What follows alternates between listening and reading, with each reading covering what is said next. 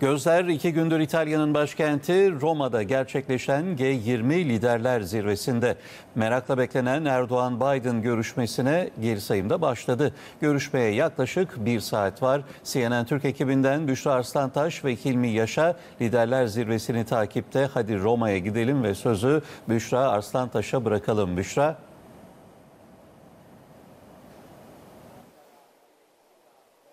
Tunç evet aslında Beyaz Saray duyurmuştu. Beklenen teyit de geldi Cumhurbaşkanlığı kaynaklarından. Cumhurbaşkanı Erdoğan'a Amerikan Başkanı Joe Biden'ın Amerikan Başkanlığı koltuğu oturduktan sonraki ikinci yüz yüze görüşmesi bugün Roma'da yaklaşık dediğin gibi bir saat sonra 12.10'da e, Türkiye saatiyle gerçekleşecek. Cumhurbaşkanlığı kaynaklarından da dünden bu yana beklediğimiz teyit sonunda geldi. Az önce bu bilgiyi bizlerle paylaştılar. Bunu aktaralım. Biz kameraman arkadaşım İlmi Yaşar ile birlikte Cumhurbaşkanı Erdoğan'ın Roma'da kaldığı otelin önünden gerçekleştiriyoruz şu anda yayınımızı. Burada hazırlıklar başladı. Araç sayısı arttı. Korumaların sayısı arttı. Bir hazırlık var ve e, şimdi şunu da hemen söyleyelim baştan yayınımızın başından sinyal kesiciler de geldi. Onlar da şimdi çalışırsa eğer yayınımızın kesilme ihtimali var. Onu baştan hemen söyleyelim ve devam edeyim. Ben şimdi o önemli görüşmenin içeriğine dair e, bugünkü programda G20 Liderler Zirvesi'nin ikinci günü bir kültürel etkinlikle başlıyor. Öncelikle bunu da belirteyim ve saat şimdi bu dakikalarda e, liderler Aşk Çeşmesi'ne gidecekler. Oraya bir yürüyüş gerçekleştirecekler. Cumhurbaşkanı Erdoğan o etkinliğe katılıp katılmayacağı netleşmedi. Kapıda her ne kadar hazırlıklar devam etse de hala çıkmış değil. Dolayısıyla bunu da yine takip ediyor olacağız. Ama dediğimiz gibi yaklaşık bir saat sonra çok önemli bir görüşme var. Cumhurbaşkanı Erdoğan Amerikan Başkanı Joe Biden'la görüşecek e, ve aslında e, bu görüşme için şimdi Beyaz Saray kaynakları 20 dakika süreceğini söylüyorlar. Yani Türkiye saatiyle 12.10'da başlayacak ve 12.30'da sona erecek ama aslında şuna dikkat çekmekte fayda var. 12 10, Türkiye saatiyle 12.30'da başlayacak program liderler zirvesi kapsamında bir yan etkinlik ve daha Cumhurbaşkanı Erdoğan'ın taslak programı duyurulduğunda günler öncesinde bu yan etkinliğe katılmayabileceği söyleniyordu. Eğer Biden da böyle bir e, karar verirse ve iki lider görüşmeyi uzatmak isterse 10 daha da uzayabilir ve Türkiye saatiyle 13.05'e kadar diğer oturum başlayana kadar yani iki lider e, yaklaşık bir saatte görüşebilirler. Ama Beyaz Saray kaynakları 20 dakika ayrıldığını söylüyor. En azından şimdilik o görüşmeye buna şimdi dikkat çekmekte fayda var. Şimdi o görüşme hangi açıdan önemli ve masada hangi başlıklar olacak bunu da aktarmakta fayda var. Bu arada kameraman arkadaşım İlmi Yaşa etrafı gösterirken sizlere Cumhurbaşkanı Erdoğan'ın otelin önünde izlediğimiz gibi ve burada hazırlıklar devam ediyor. Birazdan çıkacak Cumhurbaşkanı Erdoğan otelden ayrılacak. Korumaların sayısı, araçların sayısı arttı. Bir dizi güvenlik önlemi var tabi. İtalyan makamları da bu konuda çok hassas davranmaya çalışıyorlar. Liderlere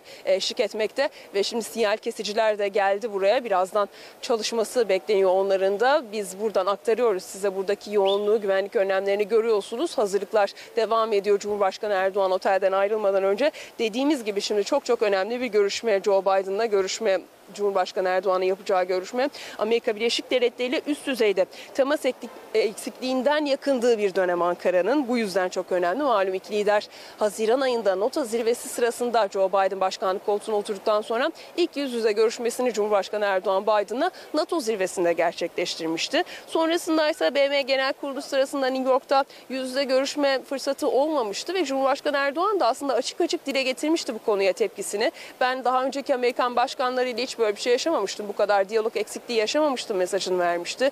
Bu iki NATO üyesinin müttefikin gidişatı hayra alamet değil demişti Ankara'nın beklentilerinin karşılanmadığının mesajını vererek yine. Dolayısıyla bu sistemlerini dile getirmişti. Tabii bir yandan da Amerika Birleşik Devletleri ile Amerikan Başkanı ile Cumhurbaşkanı Erdoğan'ın görüşecek olması tabii ki Moskova'ya karşı Ankara'nın masada enin güçlü olabilmesi için Batı ile ilişkilerin daha fazla zarar görmemesi de tabii kuşkusuz önemli Ankara açısından.